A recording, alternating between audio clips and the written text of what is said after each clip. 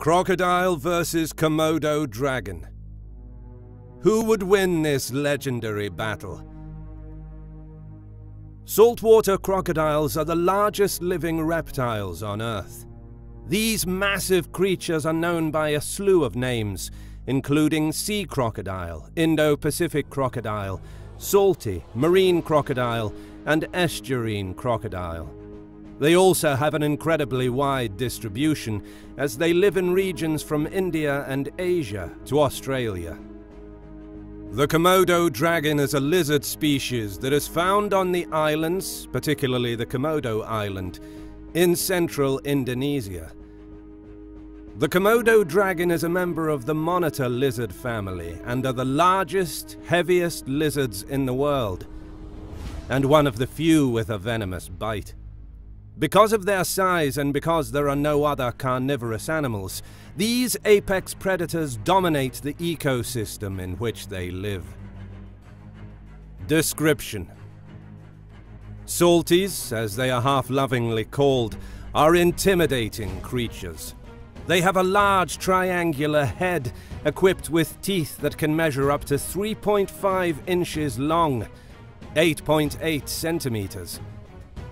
Though these crocodiles are capable of growing up to 23 feet long, 7 meters, most are 11 to 19 feet in length, 3.3 to 5.8 meters. Males are larger than females, and an older male can easily weigh over 2,000 pounds, 900 kilograms.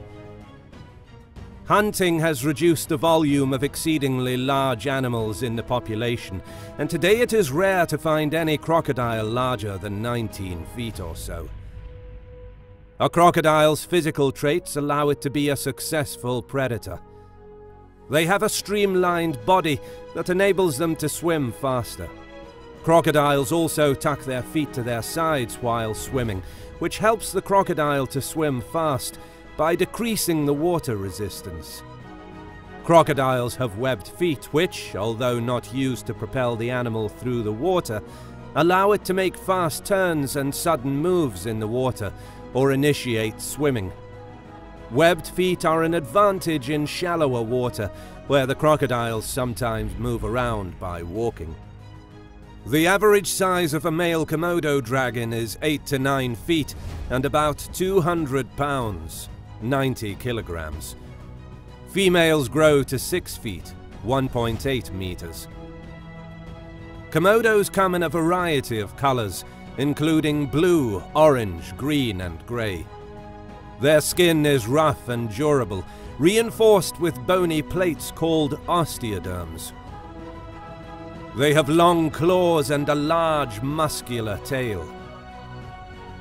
Komodos have good vision. They can see objects as far away as 985 feet, 300 meters. They are also speedy. They can briefly run up to 13 miles per hour, 20 kilometers per hour, but prefer to hunt by stealth, waiting for hours until prey cross their path. They have about 60 frequently replaced serrated teeth that can measure up to 2.5 centimeters, 1 inch in length. Their saliva is frequently tinged with blood because their teeth are almost completely covered by gingival tissue that is naturally lacerated during feeding. They also have a long, yellow, deeply forked tongue.